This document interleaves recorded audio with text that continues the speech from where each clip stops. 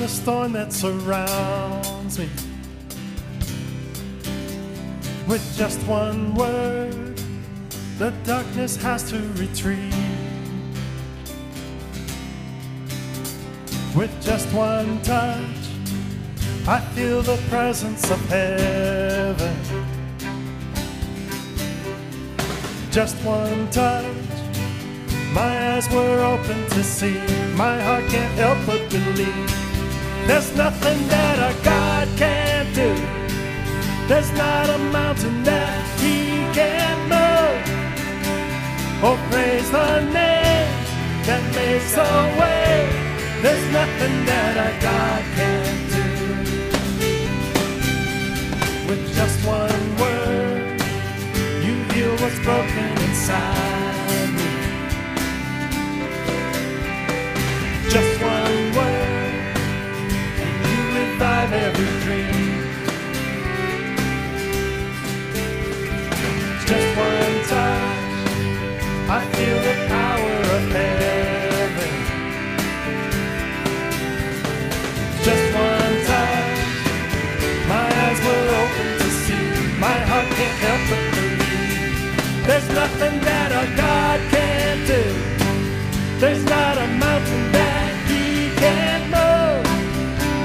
Oh, praise the name that takes away. There's nothing that our God can't do. There's nothing that our God can't do.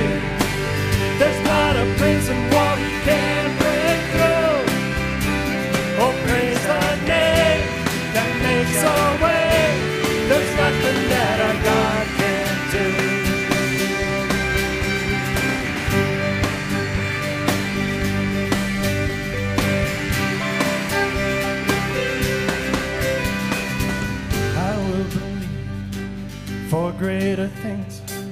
There's not a power like the power of Jesus. Let faith arise. Let all agree. There's no power like the power of Jesus. I will believe for greater things. There's no power like the power of Jesus. Let faith arise. Let all agree. There's no power I will believe for greater things.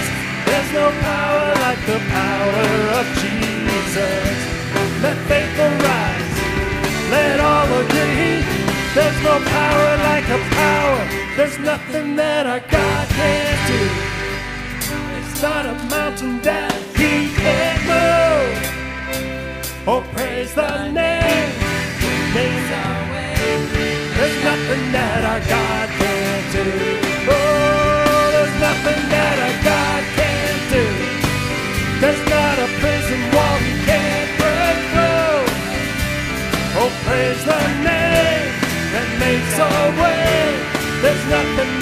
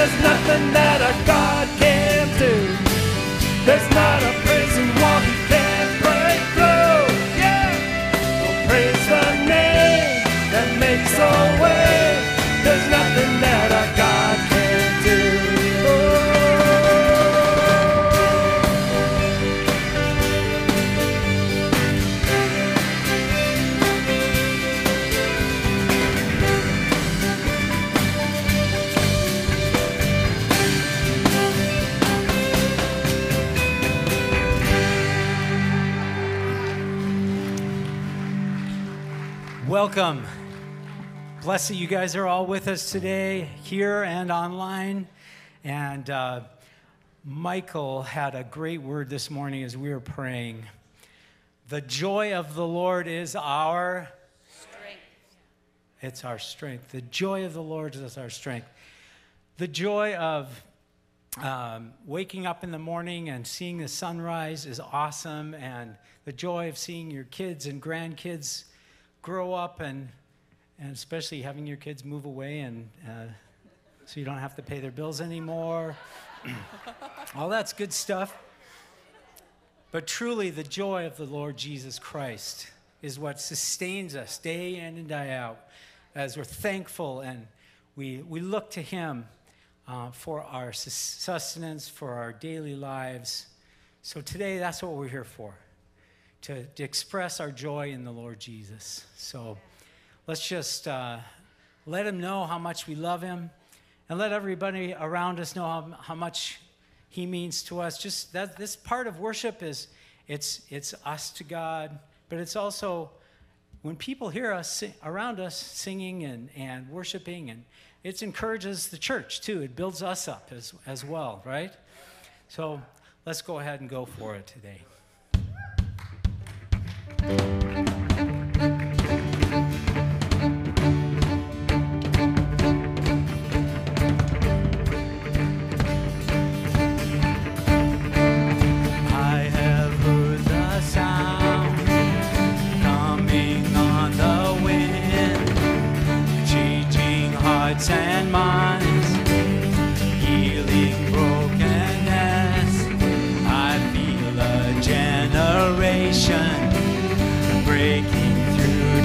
For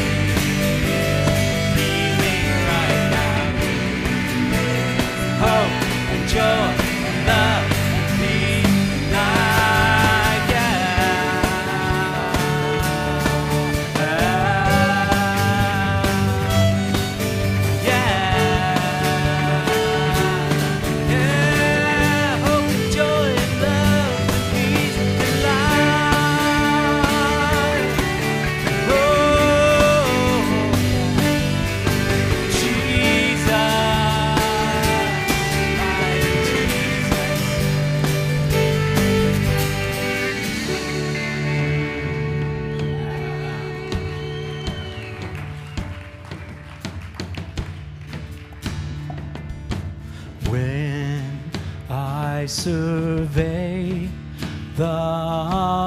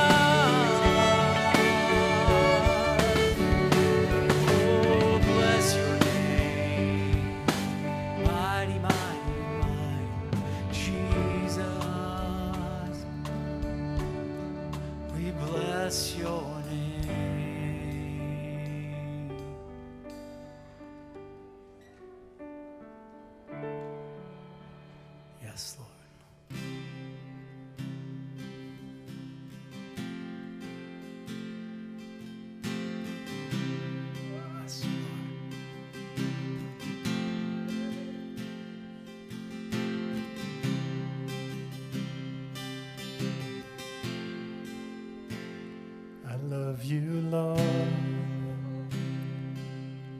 Your mercy never fails me. All my days I've been held in your presence. From the moment that I wake up until I lay my head, I will sing of the goodness of God. All my life you have been faithful. All my life you have been so, so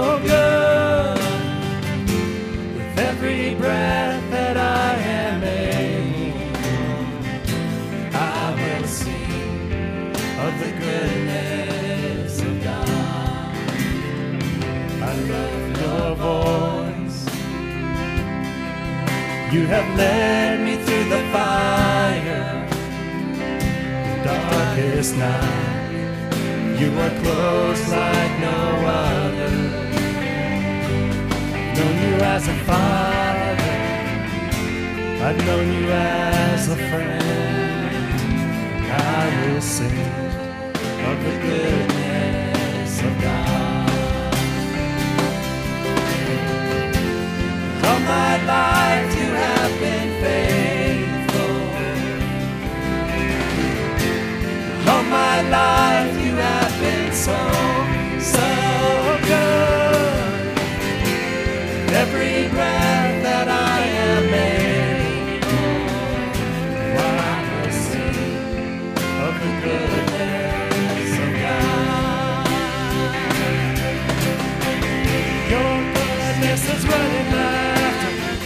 after me.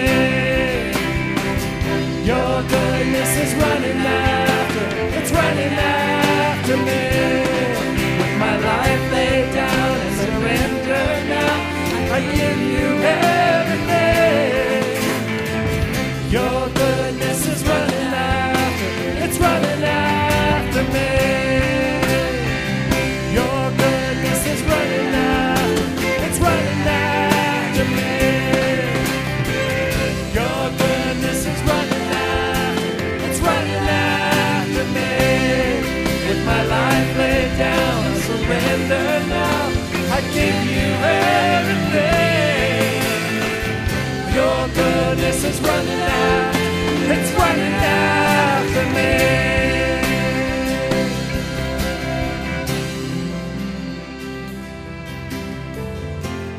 All my life you have been faithful. All my life you have been so, so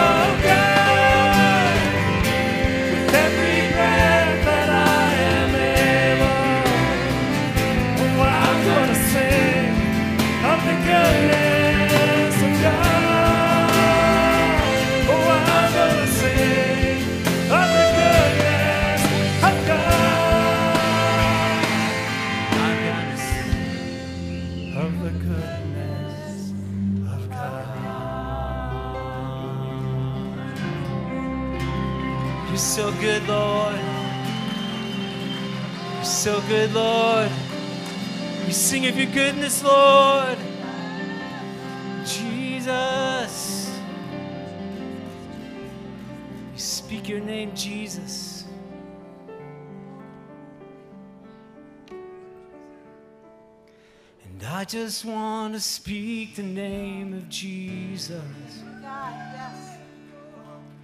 over every heart and every mind. As I know there is healing in your presence, I speak Jesus.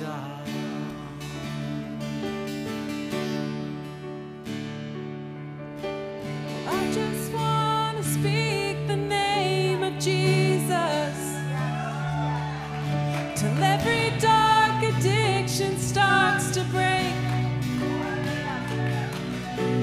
declaring.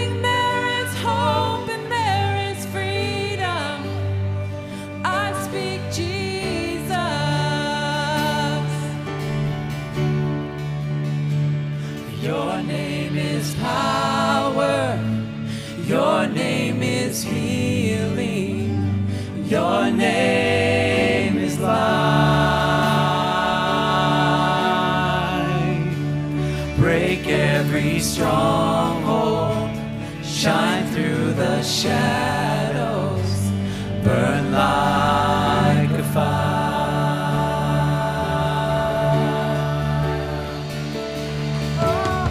I just want to speak the name of Jesus over fear and all anxiety. Till every soul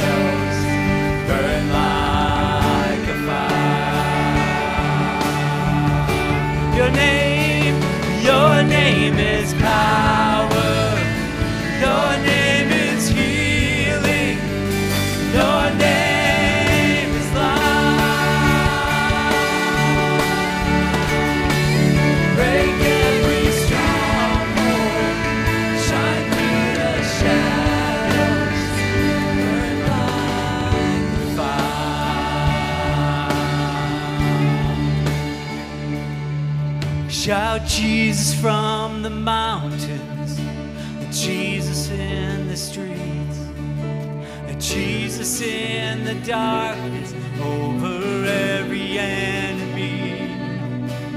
Jesus, for my family, I speak the whole.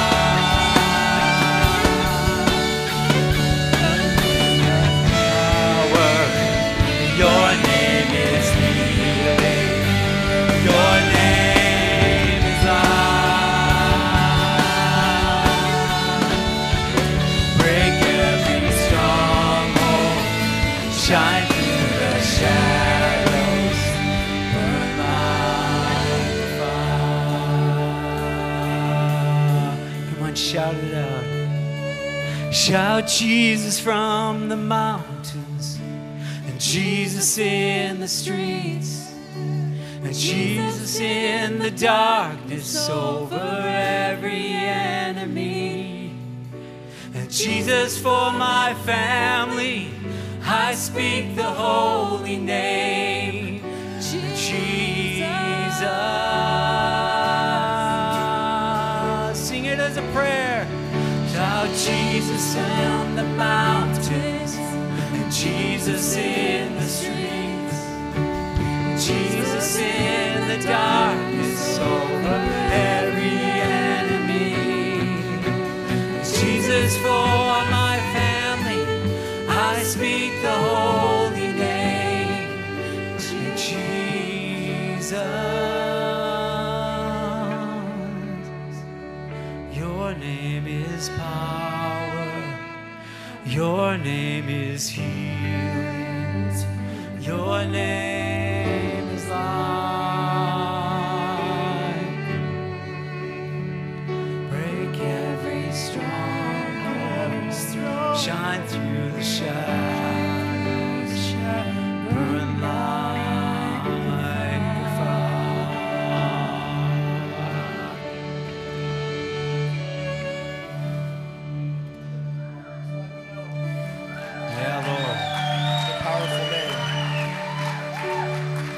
just lift up the name of Jesus. Thank you for that powerful name.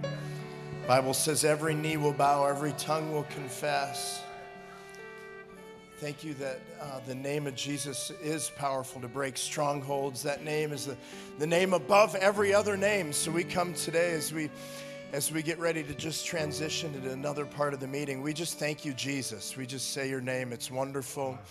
Thank you for your power and your presence here today. In Jesus' name we pray. Everyone said amen. All right. Grab a seat if you can.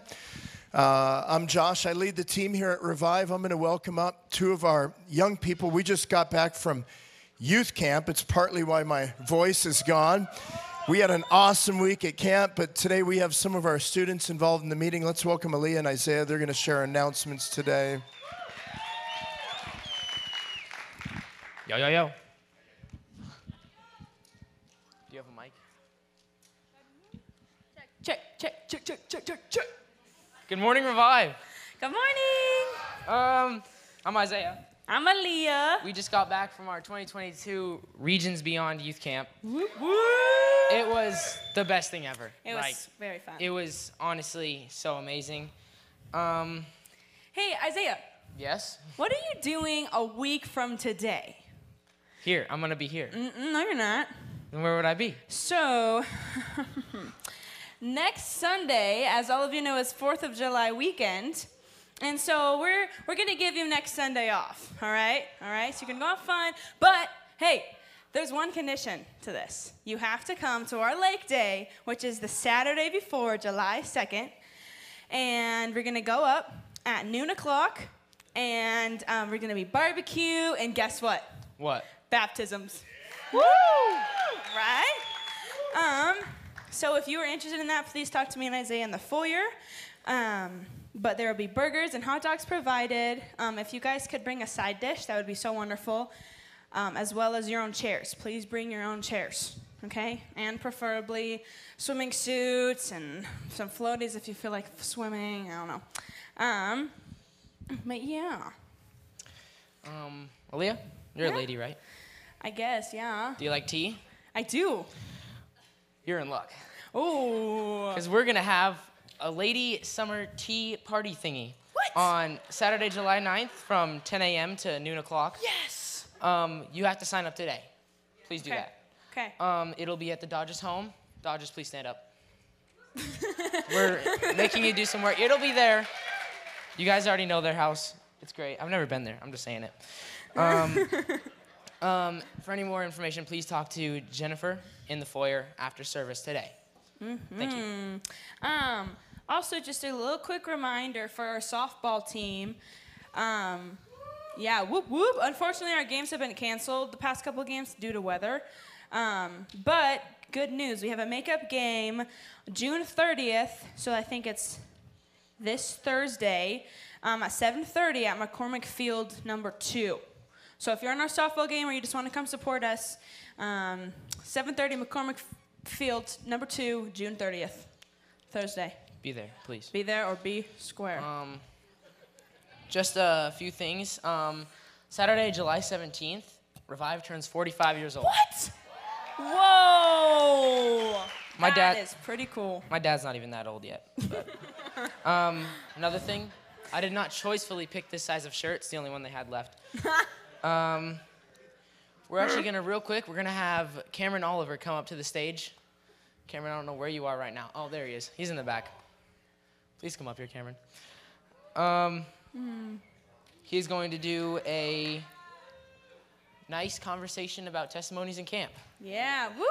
Thank you, guys. Thank you so much. All right, guys. Um, nice to see all of you.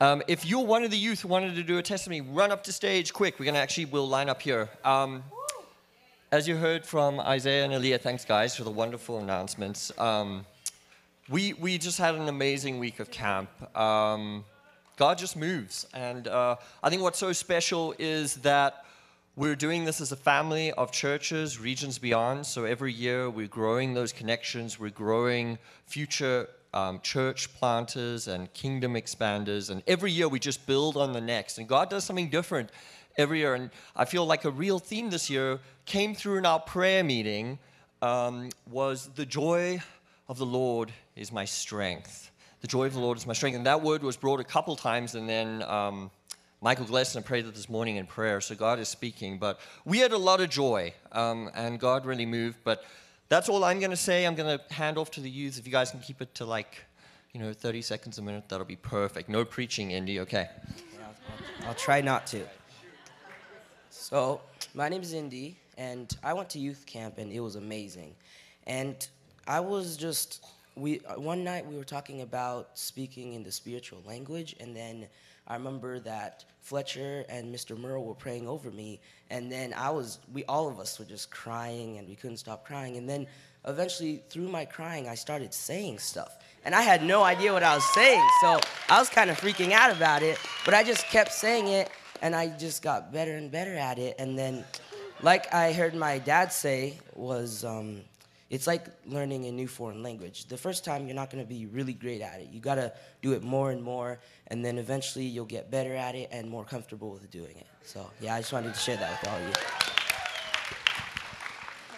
So my testimony is what happened over the whole week. So I think feeling kind of going into camp, I was having these I was just thinking about my future and stuff like that and I was not having I was kind of doubting in it, but not like about what's going to happen in the future, but like what if I mess it up on the way? Like what if I have something super cool happening and I mess it up? And so I was going into camp with that question in my mind and I prayed with about 6 people over the time of camp and about every single one of them said something about the, along the lines of this Jasmine, God has a path for you, and He's not going to let you mess it up. so that was just really cool. I just felt that, yeah. Okay, so um, mine might be a little longer than 30 seconds, but let's start out with um, not a testimony, but I talked to a few of the leaders at camp because I live in Moscow, Idaho, and I just moved there a few years ago, and I talked to a few of the leaders about starting a church in Moscow, Idaho. Yeah. Something I've been thinking about for a while because I miss this place. um, but I think it was Thursday. I woke up feeling really, really depressed and suicidal, and um, I'm already crying. I didn't trust myself going near the water or even using a fork to eat, so um, I had to be watched the whole day. But around Thursday night when we did our service, um, I had a few leaders pray for me, and towards the end of the praying, after I sobbed for half an hour, everything just lifted off my shoulders, and I went to bed smiling.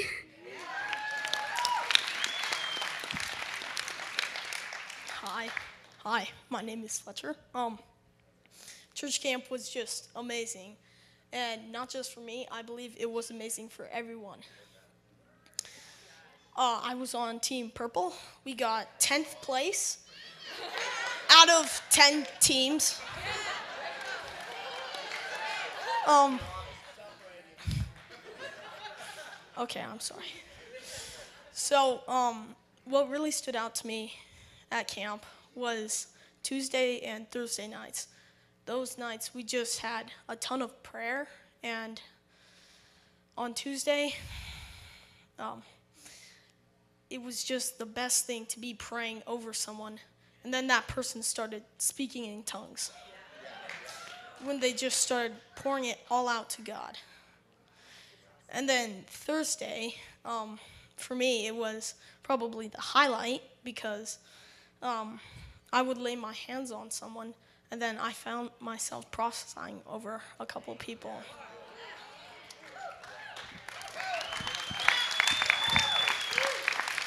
Um, hello, uh, I'm Bridger, and um, I had a great time at camp. And then one day, I went on a canoe out into the lake, and my the wind blew out my canoe into the middle of the lake, and I couldn't get it back.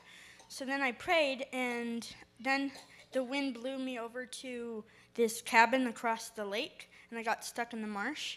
And just as I got stuck there, um, a man drove in and he helped me get out of the marsh and drove me back to camp.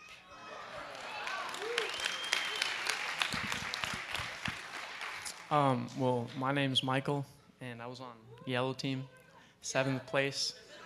Uh, uh, but uh, I think it was like Wednesday or Thursday. Um, we were talking about like being sharp like an axe, like throughout the year, and don't get like dull.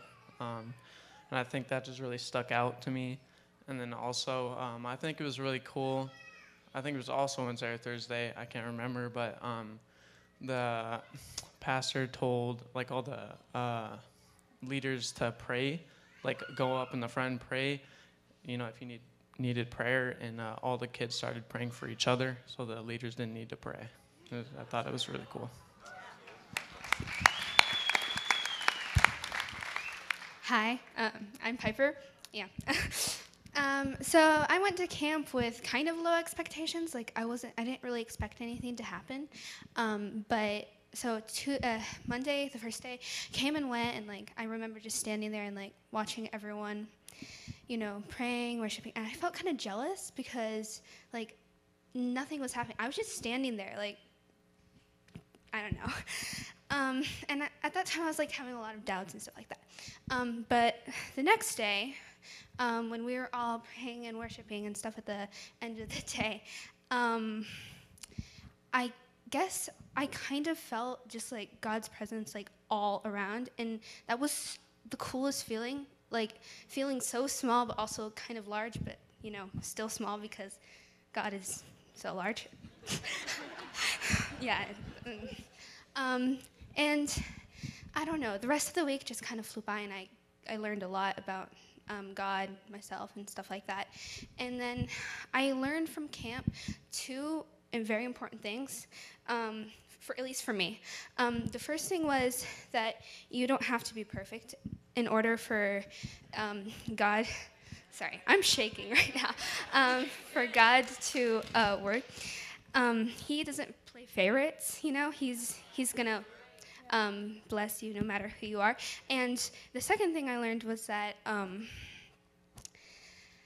uh, sorry, I forgot what was again. I lost that thought. um, you got this. You got this. Sorry, Mr. Cameron. I'm just like. um, the second thing I learned was that God is not going to exactly work exactly when you want Him to, and that's what I thought at first. You know, I thought that it was.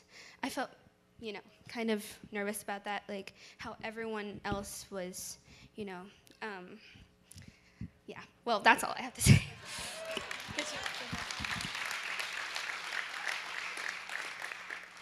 My name is Maddie, and I went into camp kind of just like defeated, and I was like not in a good place kind of mentally, and I just like wasn't feeling God and I wasn't making any time for him. He was like way in the back. like I was like, "Oh, yeah, like I believe in God and I go to church every Sunday, so you know, that's good enough." Um, and I wasn't like I never read my Bible. I like would, you know, pray and I'd kind of have this attitude like, oh, yeah, I'm a Christian. I'm kind of great, you know, kind of like that. But I really didn't pursue a relationship with God. And I went to camp and then I was like, you know what? This year, I'm done with that. I'm going to go in and I'm going to ask for the Spirit and like be fulfilled. And the first night, I like asked like three people to pray for me and I like could feel God around and you could definitely see him moving through all the youth, but I just like I didn't feel like I'd see people like starting to speak in tongues and like different things and I was like I'm not good enough. Like I'm doing something so wrong or what I've done in the past like God's just like no, I'm not going to use you and like that was definitely the devil. Like that's not true. And then somebody prayed over me and was like, "You know what? You've been filled with the Spirit, and I know it. It's just not your time yet, and you have to trust in God's plan." And I was like, "You know what? That's so true. Like, I just have to trust in God's plan. And then I just, like, I'd never felt like the overwhelming joy that I felt at camp. Like, when I'm surrounded by God's presence, like, I'm so happy. And think, and then the last night at camp, I was like on high, and I was like, yes, I'm so happy and everything. And that night, like, I was laying in bed, and God like I just was like, no, nothing happened. I'm not filled. I'm nothing, and I feel like crap. And then God gave me this image that I was laying in bed and I was just being attacked. Like, like little devils were like just coming and whispering things in my ear just to defeat me. And then I just had to like go in prayer and be like, no, that's not true. Because what God prays over me and prophesies over me, that's not. The devil can't mess with that. And you know, he doesn't have any power over me he just whispers lies in my head, and I just had to be like, no, I got to give it to God because that's not true. And yeah, that's what I had. well done, guys. Well done. Hey, um, we're going to take one one moment. If you just close your eyes and um, you can put your hands out in front of you, and Fletcher's just going to pray. Uh, maybe there's some of us this morning, we just need to receive joy and we need to be reminded of the joy of the Lord. And Fletcher's going to pray that over us this morning. Thank you, Lord. Dear Heavenly Father, um, I thank you for this church and for all the people in it. I pray that you would put joy into every person, into every person's spirit, Lord God. Just help them to feel your presence, the joy of living, Lord God. Um, I pray that we could continue to worship you and love you. In Jesus' name, amen. Amen. Amen. Well done, you guys. Bless you. Well done.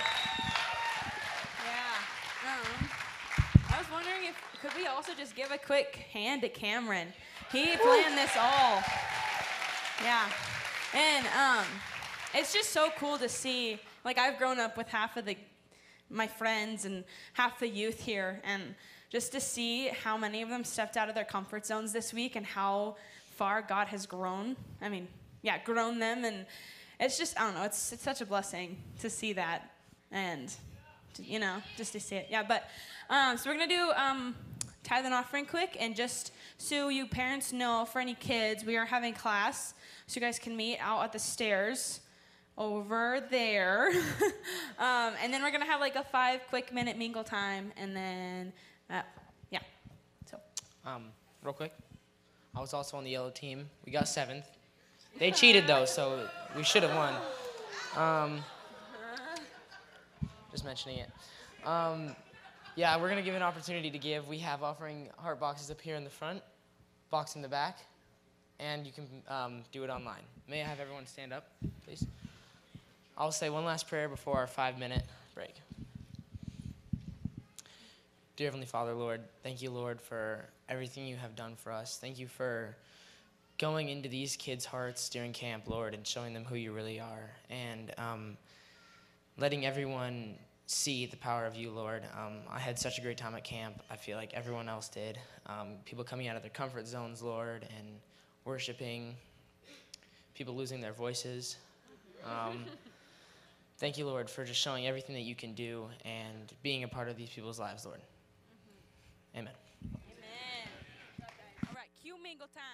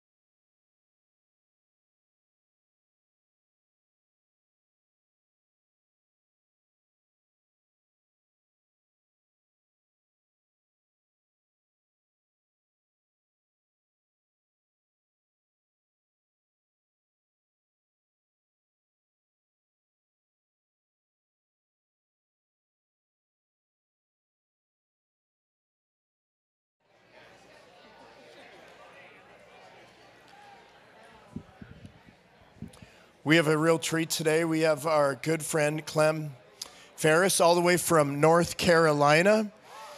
Uh, he lives near, uh, his church is near Chapel Hill, which, if you're a Tar Heel fan, you'll know where that is.